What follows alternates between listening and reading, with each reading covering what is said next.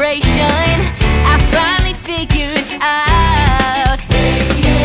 That all our dreams have no limitations. That's what it's all about.